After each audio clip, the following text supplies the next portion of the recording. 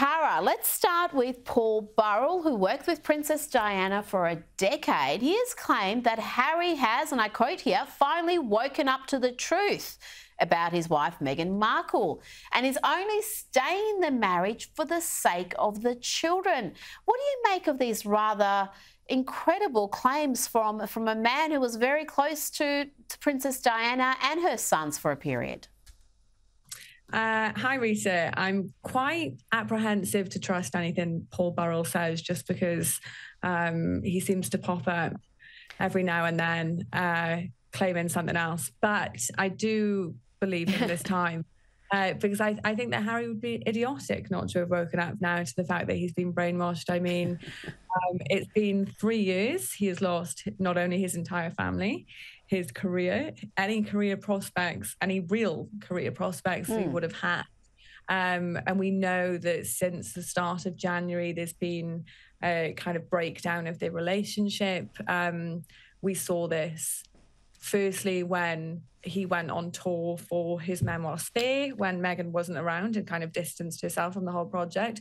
So I think he is right to a degree now that Harry's waking up. But I do think he's wrong uh, when he claims that the UK will, the British people will welcome him back with open arms, and not only hmm. the British but the King and the Prince of Wales. Uh, I mean, I don't know about you, but I certainly wouldn't be welcoming anybody back with open arms after they've been on a three-year crusade to try and damage the very thing that they're trying to uphold. You know.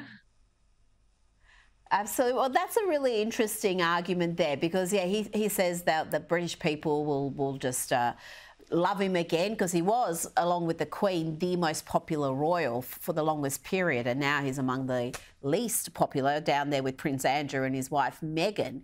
But I wonder, Kara, whether he's right there because so much of the blame of what's happened, so much of the blame for Harry's own conduct is put on Meghan. So I wonder if there is a breakup and he comes home, all of that will be put on Meghan, and Harry will be seen as some sort of a victim, even though, you know, he's a grown man, he's about 40 years old.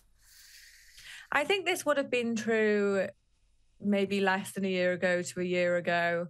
Um, I think a lot more people had sympathy at the start, where it kind of looked like this woman, this very intelligent, charismatic woman, kind of shipped him away from his family and his life. And but since then, what we've seen unfold is you, you, I mean you like you just said he's a grown man. You have to put some blame on on the 40 year old guy himself. Uh, he, Meghan wasn't the one mm. signing the doc the Netflix documentaries on her own. She wasn't the only one filming. She she didn't write the memoir you know? I mean Harry has to take some kind of responsibility.